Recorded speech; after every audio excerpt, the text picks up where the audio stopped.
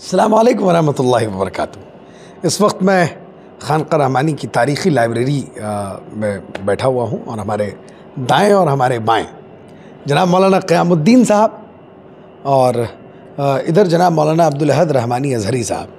ये दोनों लोग ये जो तहफ़ अवकाफ़ वर्कशॉप बुनियादी तौर पर, ये इमारत शरिया, बिहार, उड़ीसा, झारखंड और मगरबी बंगाल के ज़ेर एहतमाम हज़रत अमीर शरीयत की कोशिश और जद्दोजहद से कई मरहले में अवकाफ़ के तहफ़ के लिए कोशिशें की गई और ये कोशिश जारी है की जा रही है।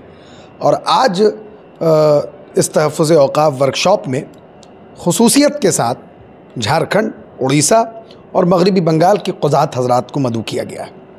इस प्रोग्राम की तफसील हम अ, इन दोनों हजरात से बातचीत करेंगे और साथ ही हम ये भी जानेंगे कि आज के प्रोग्राम का पूरा शेड्यूल पूरी तफसील कैसे कैसे क्या कब होना है। सबसे पहले मौलाना अब्दुल अहद साहब, आप प्रोग्राम की तफसीलात के ताल्लुक से कुछ बताइए। अभी ये तीसरा वर्कशॉप है। इससे पहले दो हो चुका है। पहला जिसमें बिहार, उड़ीसा, झारखंड और मगरबी बंगाल, और इसके अलावा भी दूसरे सूबों से उलमा और दानशवरान शरीक हुए। हज़रत अमीर शरीयत दामद बरकातहम दो दिनों तक उन लोगों को मुहाजरा दिए। प्रेजेंटेशन पेश किए। माशाल्लाह सब लोग समझे अच्छी तरह से कि वक्फ़ के जो कानून है, यानी वक्फ़ तरमीम बिल 2024 इसके मुज़र असरात क्या क्या है। इसी तरह से इस्लाम वक्फ़ के बारे में क्या कहता है और वक्फ़ का असल हदफ क्या है तो इन चीज़ों को वो लोग भी जान कर गए। ये जो वर्कशॉप है, इसका असल गोल और हदफ क्या है? आ, ये मैं बता रहा था अभी और फिर तीनों वर्कशॉप के बारे में बताऊँगा। तो पहली बात तो ये कि असल यही बताना है कि जो इलाके में हैं दानश्वरान क़ुज़ात और वो जो कि बहुत ही अपने अपने इलाके के बासर शख्सियात हैं उन सबों को वक्फ़ के ताल्लुक़ से सबसे पहले तो इस्लाम क्या कहता है वक्फ़ के बारे में? और इसकी क्या कदर व कीमत है इस्लाम की निगाह में? वो बताया जाए ठीक से समझाया जाए। फिर इसी तरह जो बिल आया है, वक्फ़ तरमीम बिल 2024 ये क्या है? और इससे क्या क्या नुकसान होंगे? मज़ीर असरात क्या क्या मुरतब होंगे? किस तरह से हमारी मस्जिदें बंद हो जाएँगी? खानकाह पर ताला लग जाएगा, कब्रिस्तान पर भी ताला लग जाएगा, मदारस भी ख़तरे में पड़ जाएँगे। यानी हर वो चीज़ या हर वो जगह जो वक्फ़ की है, या वक्फ़ की जगह पर बनी हुई है वो सारी चीज़ों पर ताला लगने का पूरा अंदेशा है। तो जो लोग आ रहे हैं इसमें, असल हदफ ये है कि उनको समझा दिया जाए ठीक से। हज़रत अमीर शरीयत दामद बरक़ात ने बहुत अच्छे अंदाज में पूरे बिल का ऑपरेशन किया है और तजिया किया है और वो सब उनके सामने पेश करते हैं बाबा उनसे बुलवाते हैं, सीखते और सिखाते हैं बाबा माशाल्लाह।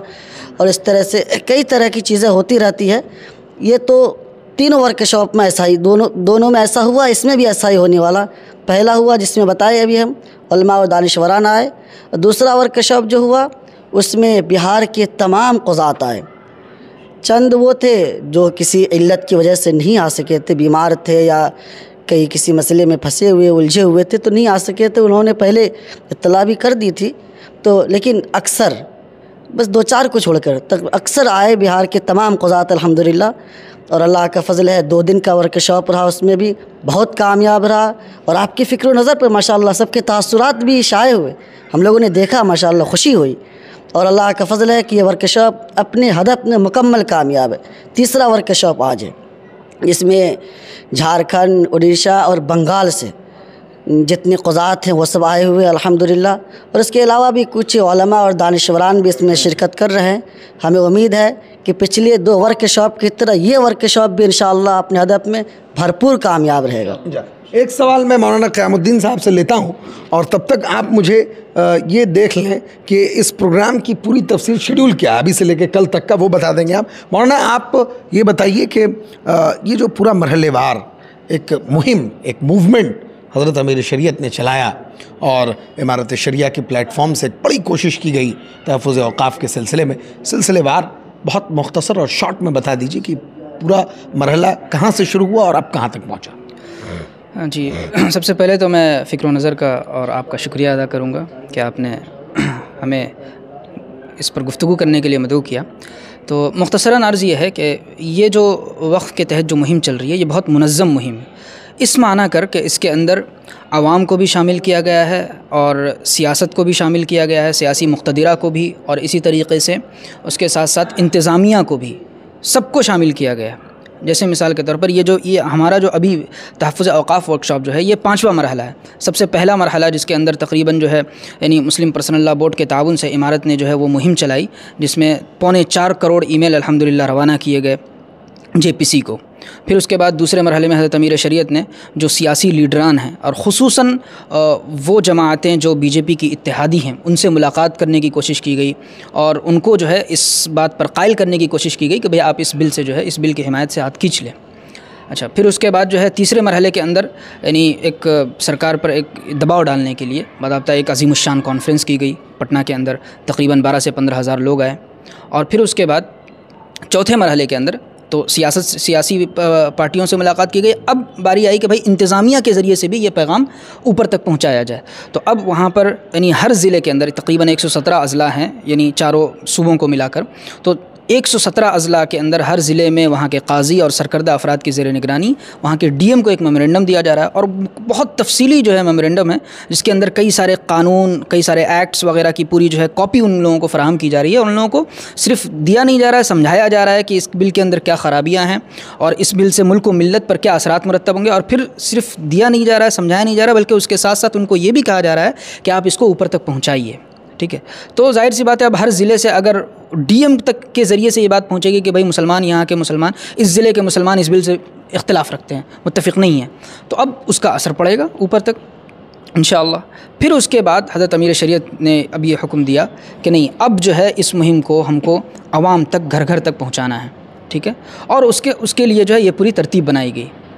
और ये तरतीब वर्कशॉप मुहिम की जिसकी तफसीत जो है अभी उन्होंने बताई और शेड्यूल भी इन मुफ्ती साहब जो है वो शेयर करेंगे आप लोगों के साथ। लेकिन उसके अंदर ये मुहिम इन उस वक्त तक जारी रहेगी जब तक के बीजेपी की इत्तेहादी पार्टियाँ खसूस जे और टीडीपी और इस तरह की जो इत्तेहादी पार्टियाँ हैं वो जब तक बिल से हाथ नहीं खींच लेती इन ये मुहिम हमारी जारी रहेगी।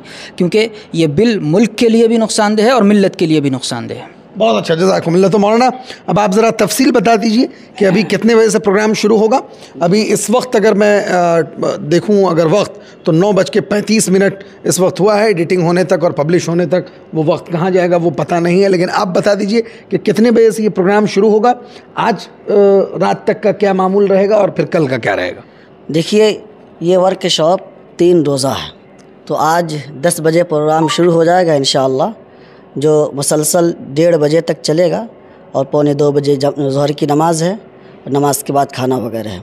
फिर ये असर की नमाज़ के बाद हज़रत साहब के बरामदा के सामने वाला जो मैदान है, वहाँ चाय वगैरह होगी और सवाल जवाब होगा। और फिर मगरिब की नमाज़ के बाद फिर ये वर्कशॉप शुरू होगा बाबा जो प्रजेंटेशन बाकी रह गया है, जो मुहाजरा बाकी रह गया, उसको पूरा किया जाएगा, फिर सवाल जवाब भी होगा उसमें। इसी तरह से कल दूसरा दिन है, ये प्रोग्राम चलेगा तो साढ़े सात से बारह बजे तक। बारह बजे के बाद चूँकि जुमा वगैरह की तैयारी है तो प्रोग्राम रुक जाएगा। और फिर मगरिब के बाद प्रोग्राम वो शुरू होगा, माशाल्लाह तो मगरिब से इशा तक चलेगा। और तीसरा दिन का जो शेड्यूल है, चूँकि हमारे यहाँ दरुज शरीफ की मजलिस भी है, उसका भी ख्याल रखा गया तो सुबह साढ़े सात बजे, यानी छब्बीस तारीख को सुबह सात बजे से प्रोग्राम शुरू होगा, जो कि मुसलसल बारह बजे तक चलेगा। फिर खाना है और जहर के बाद तकरीबन ढाई बजे फिर प्रोग्राम शुरू होगा असर तक चलेगा।